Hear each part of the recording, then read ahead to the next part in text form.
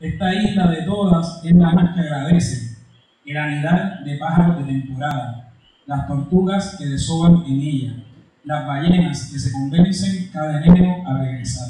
Una pausa, una concreción de expectativas, luego un paisaje olvidado en una caja marcada, devastador.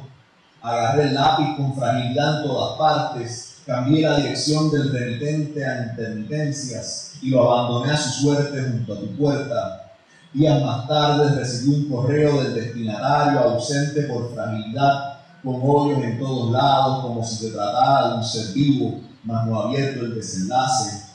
Hubo una estancia, un bello almanaque a la página, olvídalo.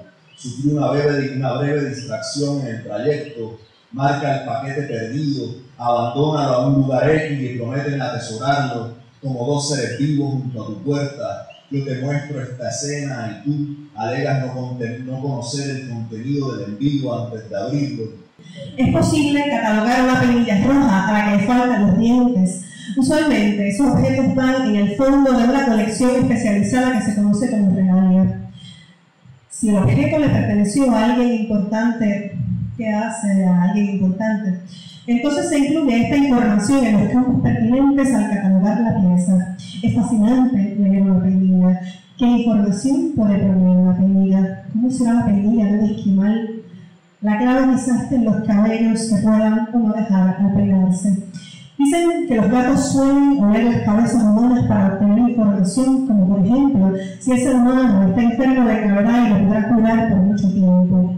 Un día, la gata de mi madre comenzó a maullarle hasta quedar casi ronca. No había manera que parara de maullar. Le dimos comida, le acariciamos, le dimos más atención de lo habitual. Nada de eso resolvió el problema. A otro día, descubrimos que la gata se había ido sin dejar rastro.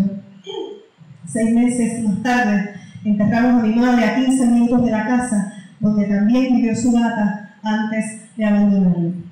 Cientos de milas de agua encuentran las minas hacia un continente, o se lo que cuenta en el tiempo que tomaría atravesarlas, en cuyo caso el tráfico nos favorece.